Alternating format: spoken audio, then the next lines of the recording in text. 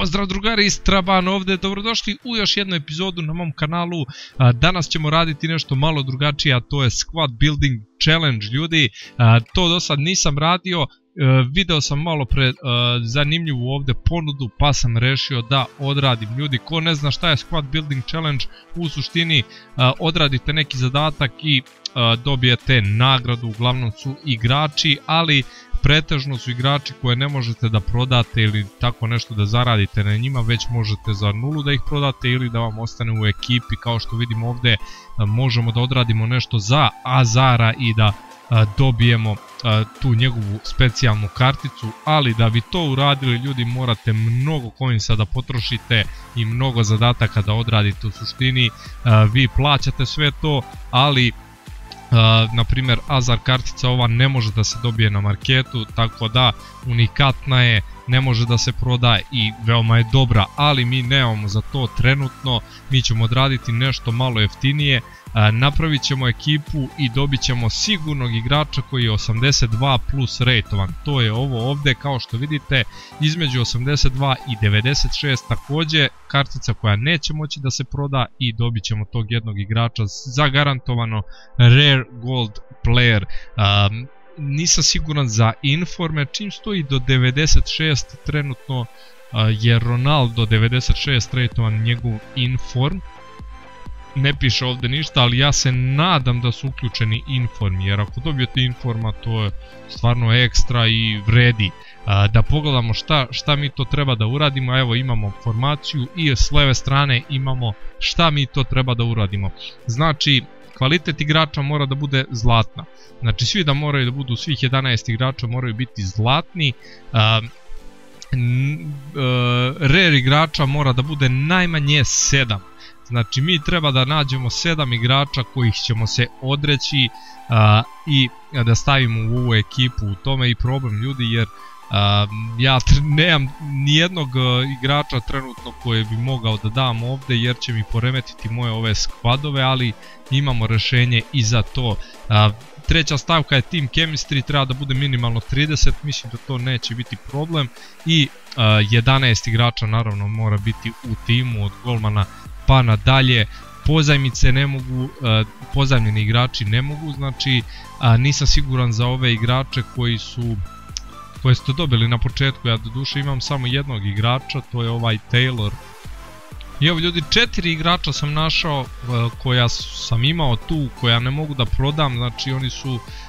dobijeni u nekim nagradnim pekovima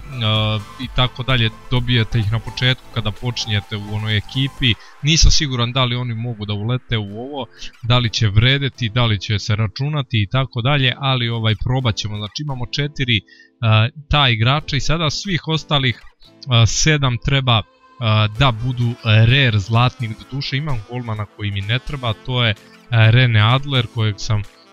bez veze doveo ni sam ne znam što za nemačku ekipu, naći ću nekog drugog bolje golmana, jako je jeftin, tako da, u stvari njega sam dobio u nekom peku, da, dobio sam ga u peku,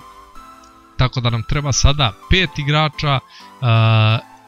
ne, šest igrača koja ćemo mi naći. u suštini ovdje vam treba, ako sedam igrača najjeftinije dovedete po 600, mislim da, da ovi 75 rejtovani rare igrači su 600 minimum im je cena, znači njih 7 puta 6, 4200 coinsa i treba vam 4 ova obična po 300 recimo, znači to je 1200, 4, 5400 coinsa vam ukupno treba za ovaj Squad Builder Challenge ljudi i možete da dobijete igrača 82+. Plus. U najgorim slučaju da dobijete nekog šugavog koji je ispod 1000 coinsa, bit ćete u minusu. Mislim, vi njega ne možete da, dovede, da prodate, ali recimo kad bi dobili Pareha koji je 82 rejtovan, bili bi u žestokom minusu, on je oko 700, 800, 900 coinsa, ne znam ni sam. Iako 5000 puknete, znači vi ste neke 4,5, 4, 4,5 hiljada coinsa u minusu ovako kada bi gledali, ali možemo da dobijemo neke 85 plus, ko zna, vidjet ćemo kako će to ići, idemo sada da nađemo igrače. I kako ćemo ih naći, najlakše stavimo max price na 650 i tražimo gold igrače, nije bitno koja su pozicija, evo vidimo ovdje su već svi,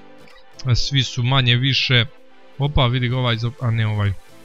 kako sam se ponadao, znači 39 sekundi i tako dalje. Znači treba da nađemo nekoga ko je sa 600, do duše i 650 nije sad e, nešto drastično. Treba da gledamo ove igrače od 75 rejta, tako da moramo to juriti 38 sekundi, moramo ovo malo brže, tako da možete i ovdje da izgubite vremena ako baš želite igrača od 75 tačnije da ih platite 600 coinsa, morat ćete malo da se potrudite, mada između 600 i 700, 750 coinsa nije neka šteta sada, ne znam, nija, ajde dovešćemo bebe, a što da ne za 650, i onako ga imam već u klubu, ajmo Joela Campbella, što da ne, evo ga Jana Bajev ili kako već za 600 coinsa njega smo našli, moraju biti igrači isti, tako da nemojte dva igrača ista da dovedete, ne možete ih staviti naravno u isti tim, da vidimo da nema još nešto ovdje. Da ne komplikujemo previše, Salibura ćemo dovesti isto, evo ga neki Aguilar, Aguilar i njega ćemo za 650, u suštini za 650 coinsa i nije neka velika šteta, evo ga Frey. I evo tačno 6 smo našli, uglavnom svi su za 650 osim Jana Bajeva,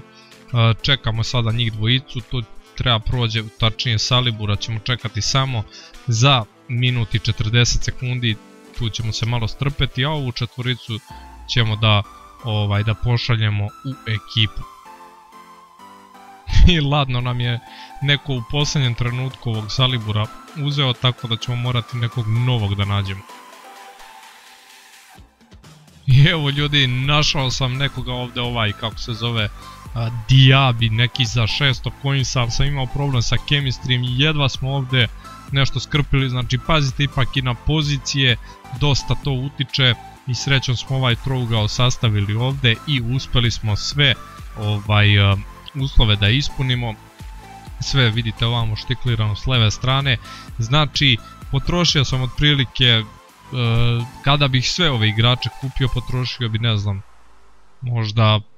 5500 coinsa, ni sam nisam siguran, ali hajde prvo da pogledamo da li će mi prihvatiti ove što nisu, što, ni, što ne mogu da se zamene, to ćemo da vidimo. Izgleda da može ljudi, znači kada pritisnemo ovo, svi ovi igrači se brišu, znači gubimo sve ove igrače u zamenu za taj jedan pek